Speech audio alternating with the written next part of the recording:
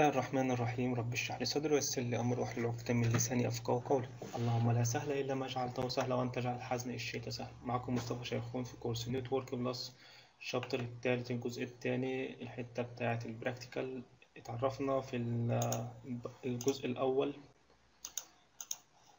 على الميديا المستخدمة في ال network عندي. عرفنا إن عندي نوع bounded ونوع unbounded وتكلمنا عن النوع ال bounded اللي هو twisted pair والكابل coaxial وال fiber optic وال IEEE وعرفنا كل كابل منهم بيتكون من إيه وإيه خصائصه وعرفنا إيه هي ال connectors بتاعت كل كابل.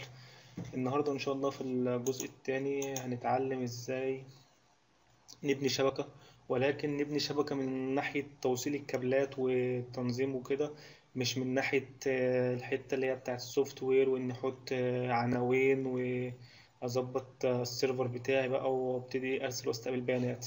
هنتعلم إزاي بس نركب ال connector ال RJ 45 في الكابل ال UTP قبل ما أبدأ بس في الحتة ديت عايز أتكلم عن حتة كنت نسيتها في ال- ال chapter التاني ال- في الجزء الخاص بتاع ال network devices وهي ال network ال media converters ال media converters زي ما إحنا شايفين كده جهاز بحطه في الشبكة عندي عشان يربط لي نوعين مختلفين. من الشبكة في من ناحية الكابلات المستخدمة. يعني إيه الكلام ده؟ يعني مثلا أنا عندي شبكة. الشبكة دي كنت بانيها ومعتمد على كابل ال UTP فيها. مظبط الشبكة عندي وبستخدم آه، الميديا كابل UTP طيب أنا دلوقتي عايز أوسع الدنيا وعايز أسرع الدنيا عايز أت... يعني إيه أستمر مع التحديث بقى وأحدث نفسي مع التكنولوجيا بتتحدث أعمل إيه طيب؟ آه فقلت آه، هجيب هكبر الشبكة بقى وابني إيه؟ أستخدم كابلات ال fiber. زي ما إحنا عرفنا إن ال fiber أسرع من ال UTP وامن منه. طب أعمل إيه في في الموقف اللي زي دوت؟ آه، اهد الشبكة بتاعتي مثلا آه، اهد الكابلات ال UTP اللي أنا كنت مركبها في الشبكة القديمة وأركب fiber أقول لك لأ هنكمل عادي. والشبكة وإحنا بوسعها أو الشبكة الجديدة آه، شغلها fiber optic وأربط الاتنين مع بعض عن طريق ال media converter. زي ما إحنا ما شايفين كده في فتحات RJ 45 في فتحات fiber optic في فتحات coaxial cable فزي ما إحنا شايفين في الصورة عندي كده هو خد fiber optic دخل على ال media converters طلع إيه؟ UTP فهي دي وظيفة ال media converters في الشبكة عندي. نتكلم بقى في الجزء بتاع النهاردة. أنا دلوقتي عايز أبني شبكة وكده وأوصل شبكة. آه عندي آه عندي الأجهزة بتاعتي عندي الكابلات بتاعتي عندي الكابينة بتاعتي أو ال rack بتاعي أو ال data center ال data center اللي هي غرفة التحكم اللي بيتحكم منها ال IT في الشبكة بتاعته عن طريق سيرفراته وسويتشاته وراوتراته طب إيه الخطوات دلوقتي؟ الخطوات دلوقتي إن أنا أوصل الأجهزة دي بال... بالكابينة بتاعتي اللي هي فيها إيه؟ الراوتر بتاعي أو ال server بتاعي. طب هنعمل إيه؟ هنوصلها باسلاك ونمشيها كده جنب الحيطة ونطلعها من الشباك وندخلها في شباك ونطلعها من باب وندخلها من باب. لا الموضوع اللي بيحصل في البيوت ده مش مش هينفع عندي في الشركة أو مش هينفع عندي في مكان مكان كبير فيه أجهزة كتيرة. هيبقى أشبه ب... ب... يعني عشوائية وكده والأسلاك اللي رايح واللي جاي يخبط فيها وممكن تتقطع. طب الناس بتعمل إيه؟ الناس أقول لك هم بيبنوا الشركة بيعملوا حساب ال network cables أو ال network بتاعتي في ال infrastructure بتاعتي. بيتفقوا مع الناس اللي بتبني أو المهندسين اللي بيبنوا إن هم يمشوا في الحيطة آه، ميجر أو خراطيم تمشي فيها كابلات ال network. تمام؟ زي ما إحنا ما شايفين كده الكابل بتاعي ماشي في الحيطة وواصل بالإيه؟ بالكابينة بتاعتي. فبقوم أنا بقى إيه؟ أعمل آه، الكابل بتاعي اللي هو ال patch cable أو ال cord cable اللي إحنا شايفينه دوت متوصل من ال- ال PC للحيطة. بوصله بحاجة اسمها wall plates هنشوفها قدام. تمشي horizontal كده تمشي في الحيطة لغاية لما تروح بالايه بال rack cabinets بتاعتي. طيب ال- ال patch cable ده وال cord cable ده شكله إيه؟ هقول لك ده كابل عادي. آه، متوصل أو متأرج بطريقة ال standard B اللي إحنا اتكلمنا عنها إحنا حفظنا المفروض إن إحنا حفظنا ال standard A و standard B وال cross over تمام؟ وال roll over كابل عادي كده إحنا هنعمله دلوقتي هنتعلم إزاي نعمله أو ممكن اشتريه جاهز. ممكن أروح اشتريه جاهز patch cable patch patch cord كده تمام؟ بيبقى ب- بأطوال معينة حسب الحاجة بتاعتي اللي أنا محتاجها. والتوصيلات من الناحيتين زي ما إحنا ما شايفين كده اتبع ال standard B إن أنا برتب من الشمال أبيض برتقاني برتقاني أبيض أخضر أزرق أبيض ازرق أخضر أبيض بني بني. والطرف التاني نفس الكلام. تعالوا نشوف إزاي الحتة بتاعة ال plug on RJ 45 في الكابل ال UTP. ده فيديو بيوضح العملية فيديو احترافي بيوضح العملية. بيشرح لي الأول أنا محتاج إيه عشان أعمل كابل ده ال RJ ال 45 بتاعنا اللي إحنا اتكلمنا عليه. دي زي حافظة كده أو كيس ال RJ هنشوفها. أدي الكابل ال TP بتاعي.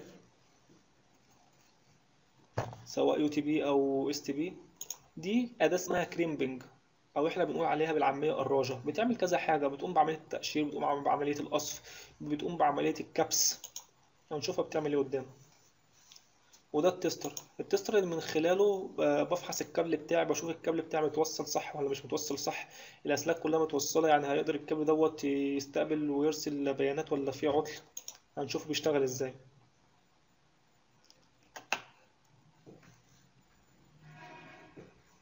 وده marker. استخدم ال marker عشان يعلم بيه. أول حاجة أركب الحافظة بتاعتي. هي حاجة جمالية يعني من غيرها الكابل هيشتغل ولكن حاجة بت, بت يعني إيه بتزود لمسة جمالية كده لل- للكابل بتاعي. وهيمسك ال crimping. لاحظوا هيحط الكابل في الحتة اللي هي فيها ال curve دي اللي هي نص دايرة دي عشان يقشر الجاكيت من غير ما يجرح الأسلاك الداخلية. شايفين؟ الحتة اللي هي بتاعت النص دايرة دي بيلف هيقشر الجاكيت. السلاح مش بيوصل للأسلاك الداخلية. هيبتدي يفرط الكابلات بتاعتي اللي هم الثمان أسلاك اللي إحنا اتفقنا عليهم.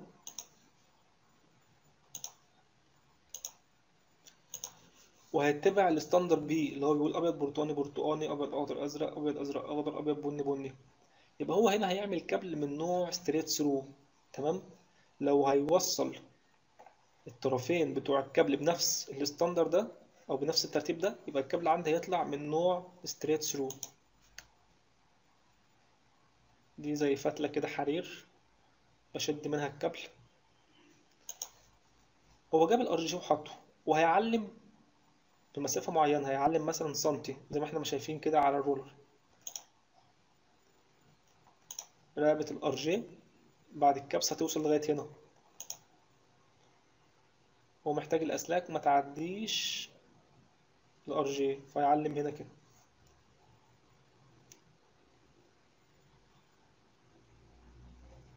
لاحظوا حاجة معايا هنا؟ إن رقبة ال RJ وصلت عند آخر الكابل لأن في هنا زي إيه؟ زي clips كده بعد ما بضغط عليه الحتة دي كده فيها clips مثلث. بعد ما بضغط عليه بينزل يخنق الجاكيت أو بيخنق الكابل فيخلي ال RJ ماسك في الكابل.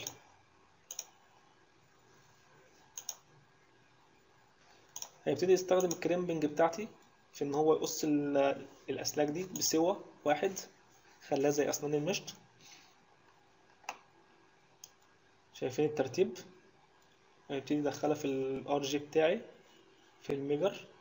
ال RJ بتاعي فيه 8 pin ات أو 8 أسنان أسنان نحاسية. ودي ال clips اللي إحنا اتكلمنا عليه اللي هو بعد الضغط ينزل يخنق على الجاكيت. لاحظوا معايا حاجة؟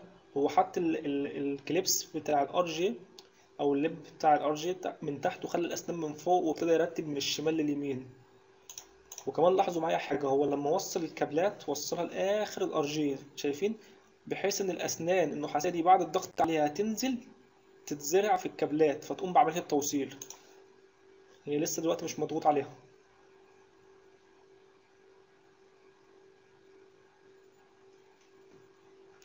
ابتدي يستخدم ال crimping للضغط. ولاحظوا معايا حاجة في ال crimping كده؟ لاحظوا معايا الأسنان اللي في ال crimping أو في القراجه بعد الضغط هتضغط على الأسنان اللي في ال RJ فتقوم بعملية الضغط. هو كده بيعمل حاجتين بيضغط على الأسنان النحاسيه عشان يزرعها في الكيبل بتاعي وبيضغط على الك- ال clips اللي هو بيمسك ال RJ بالكيبل. زي ما إحنا ما شايفين كده يبقى قوي مش هيتخلع معايا طبعا. وابتدي يرجع الإيه ال case بتاعتي. كده إحنا عملنا كابل U- UTP ووصلناه بال RJ 45 connector طيب أنا دلوقتي عملت الكابل. عايز أتأكد بقى الكابل ده شغال ولا لأ. الثمان أسلاك دول متوصلين والثمان أسلاك دول متوصلين من هنا. هيبعت ويستقبل بيانات ولا في إيه؟ فبجيب ال tester. ال tester ده أداة بتختبر لي الكابل. أركب في جزء منها طرف وفي جزء من التاني الطرف التاني. وأبتدي أشغلها.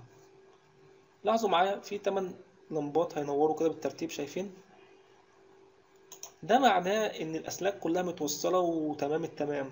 طب لو في لمبة ما نورتش أشوف رقم اللمبة دي إيه؟ اللي ما نورتش دي. ومن خلالها أعرف أنهي الكابل اللي هو ما توصلش. مثلا اللمبة رقم اتنين ما نورتش.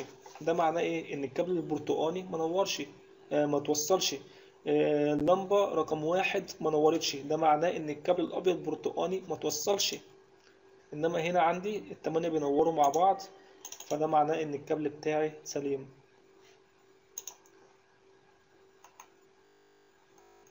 دلوقتي عرفنا إزاي نركب آه، كابل من نوع ال TP بال RJ 45 connector. نبتدي بقى نكمل الموضوع بتاعنا. بعد ما بوصل ال patch cable أو ال patch cord بتاعي من الجهاز لل wall plates إحنا عملنا دلوقتي إيه؟ patch cord cable. ده شكل ال wall plates. تمام؟ دي اللي هي متركبة إيه؟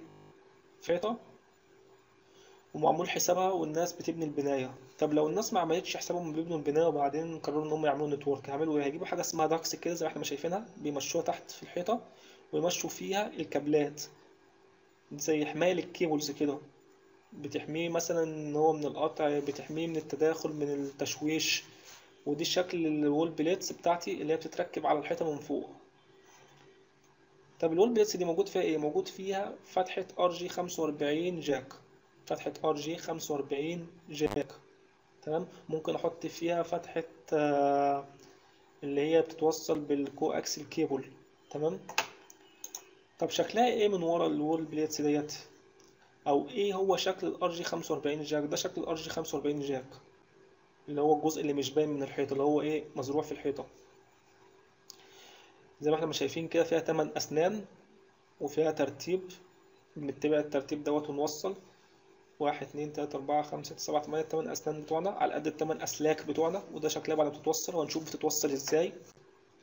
بنستخدم في التوصيل ال RJ 45 jack آه، أداة اسمها punch down. ال punch down ديت زي ما إحنا ما شايفين كده بستخدمها عشان اضغط على الكيبل إن هو ينزل في الأسنان بال- بالجزء اللي هو ال curve دوت. وفي لاحظوا معايا كده في الشفة اللي فوق دي؟ الشفة اللي فوق دي زي سلاح كده. وأنا بضغط وبكبس بتقطع لي الجزء الزايد من السلك. هنشوف قدام الموضوع ده. نتفرج على فيديو كده في طريقة تركيب ال RJ 45 jack.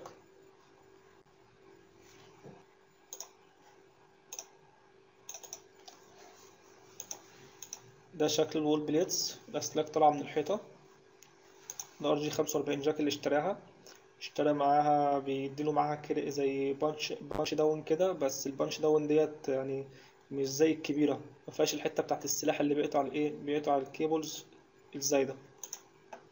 دي ضغط فقط. هنشوف كده نلاحظ إن في ترتيب ألوان. ده شكل ال RJ 45 jack. تركب في ال wall plates. شايفين الأسلاك بتاعتي طالعة من الكهرباء.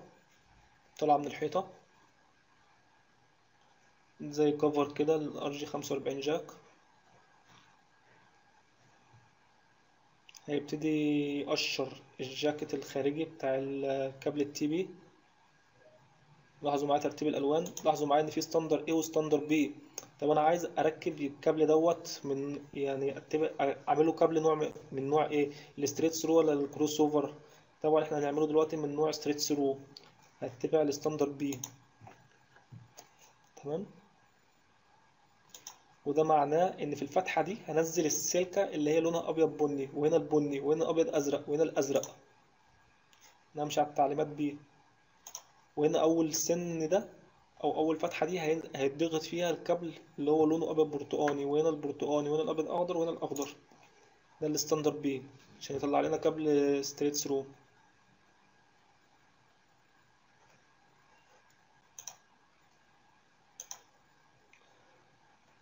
فرد الأسلاك بتاعتي زي ما إحنا ما عرفنا وهيبتدي يبيتها في ال... في الأماكن المخصصة ليها. زي ما إحنا شايفين كده يجيب البانش داون عشان يضغط.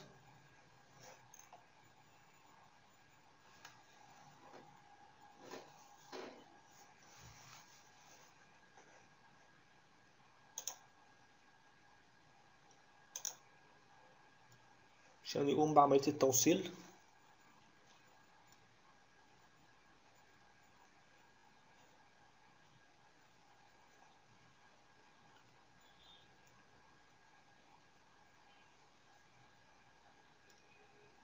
بانش داون الصغيرة البلاستيك دي بت- بتضغط بس ولكن ما بتقصفش السلك الزيادة.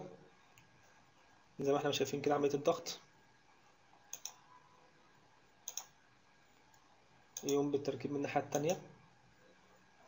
موضوع سهل يعني ما تقنعش نفسك إن الموضوع صعب. أنا فضلت إن أنا أشرح ال- الجزئية ديت على فيديو بدل ما أصورها صور وخطوات وكده. ابتدى يجيب قصافة عشان يقصف الأسلاك الزايدة. بعد ما خلصنا ال jack بتاعنا ده شكله. هيبتدي يركب بقى الإيه ال cover. لاحظ إن ال cover فيه زي رقبة كده. الرقبة دي هي اللي بتضغط على السلك على الكابل بتاعي. والحتة اللي مفيهاش رقبة بتبقى من جوه. دي زي بتحكم الكابل كده أو بت... يعني متانة للكابل.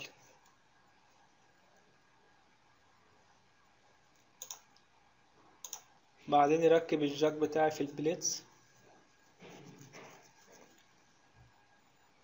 بيقول لك خلي ال clips بتاع ال RJ من فوق.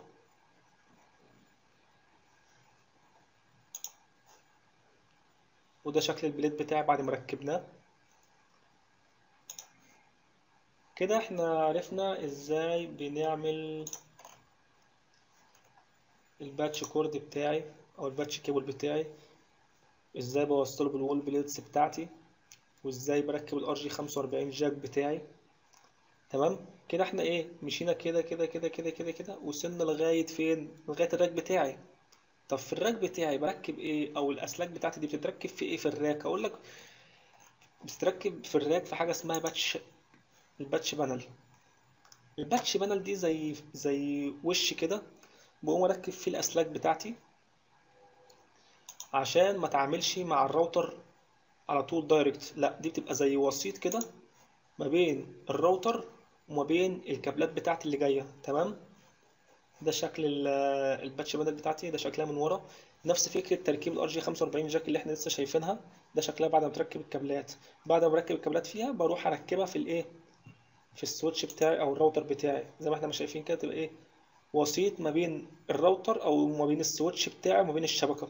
عشان ما تعملش مع الايه مع الأجهزة دي direct كده. نشوف آه، فيديو تالت لعملية تركيب ال patch panel. زي ما إحنا ما شايفين كده ال patch panel بتاعتنا برضو فيها تعليمات A وتعليمات يعني بقى standard A وستاندر B. في هنا تمن أماكن لتمن أسلاك بتوعي زي ما إحنا ما شايفين كده. دول السنتين بينزل مكانهم بينزل وسطيهم الكابل فيقوم بعملية التوصيل. بيقول لك هنا هو هيركب ال patch panel بتاعتنا بال standard B اللي إحنا عارفينه اللي هو ال straight through. هيتبع التعليمات اللي هي بتاعت ال B في الناحية دي بتتبع تعليمات ال B والناحية دي بتتبع تعليمات ال B اللي هي أبيض برتقاني برتقاني أبيض أخضر أزرق أبيض أزرق أخضر أبيض بني بني. طبعا اللي عايزه زي ما إحنا شايفين كده أبيض برتقاني برتقاني. أهو الترتيب أهو. ترتيب B مالناش دعوة بالترتيب إيه والأبيض بني بني. تمام؟ هيبتدي يعري الكابل بتاعي. هيعمل patch cord برضو. كابل من نوع ال patch cord برضو. عشان يبقى بسيط ما بين الشبكة بتاعته وما بين ال device بتاعي. هيبتدي يبيت الأسلاك في كل مكان مخصص ليها. وبعدين ال punch down يضع الأسلاك. شايفين ال punch down ال punch down الكبيرة بتضغط وبتقصف. نلاحظ كده بيضغط وبيقصف في نفس الوقت. ما بيحتاجش قصافة. شايفين؟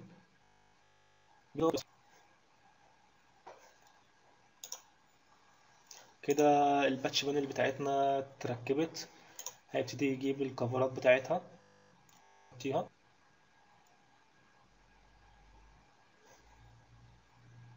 موضوع سهل جدا يعني مفيش حاجة صعبة خالص. كده ال patch panel بتاعتنا بقت جاهزة. بقت جاهزة إن هي تتركب في ال rack بتاعي. تمام؟ أو الكابينة بتاعتي. ال rack بتاعي زي ما إحنا شايفين كده نقدر نشبهه بدولاب مثلا عمودين. آه ال patch panel بتتركب كده بالعرض بتبقى وسيط ما بين الشبكة وما بين الجهاز بتاعي. طيب أنا دلوقتي وصلت الأسلاك بتاعتي اللي هي جاية من الشبكة بال patch panel بال... ومن ال patch panel بالايه بال device بتاعي. طب دي العملية كده مش عارف الكابل ده بتاع مين ولا الكابل ده جاي منين ولا الكابل ده متوصل بأني جهاز عندي في الشبكة.